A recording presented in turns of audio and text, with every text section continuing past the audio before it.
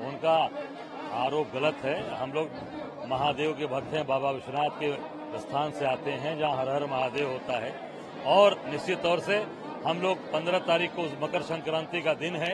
उसी दिन सूर्य भगवान नौ बज के तेरह मिनट पर उत्तरायण होंगे और नौ बज के पंद्रह मिनट पर हम लोग प्रदेश कांग्रेस कार्यालय से, मैं, हमारे राष्ट्रीय प्रभारी महासचिव अविनाश पांडे जी, हमारे प्रमोद तिवारी जी पीएल पुनिया जी, हमारे वरिष्ठ नेतागण, हम सब लोग यहाँ से प्रस्थान करेंगे अयोध्या नगरी के लिए। वहाँ चलकर सरयू में स्नान होगा, मकर संक्रांति का, उसके बाद रामलला का दर्शन होगा।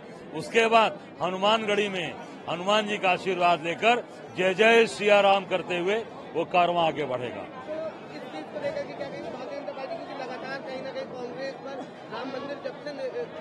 कार्यक्रम की डेट सुनिश्चित हुई उसके बाद से कांग्रेस पर निशाना साध रही है।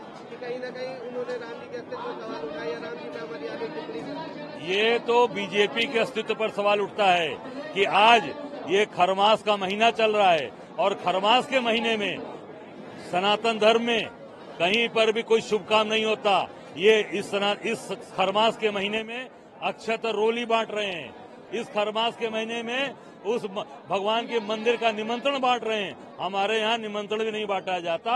ये खरमास के महीने में सारे अक्षत और निमंत्रण बांट रहे हैं। इनके अस्तित्व पर सवाल है कि ये सनातन धर्म को मानने वाले हैं या केवल इवेंट मैनेजमेंट करने वाले इसके साथ एक महत्वपूर्ण सवाल है। अखिलेश यादव ने भी ये बात कही कि अगर भारत जोड़ो यात्रा अगर उसकी शुरुआत के पहले सीटों का बंटवारा हो जाता है अभी उसका जवाब हमारे राष्ट्रीय महासचिव जी ने दिया है कि वो खुद उसके सदस्य हैं। तो मैं समझता हूँ कि अपनी बात उनको खुद उस फोरम पे करनी चाहिए जिससे उसका निश्चित तौर से उसका समाधान हो कोई नहीं? उस पर हमारा राष्ट्रीय नेतृत्व बात कर रहा है उस पर समन्वय समिति बनी है वो बात कर रही है।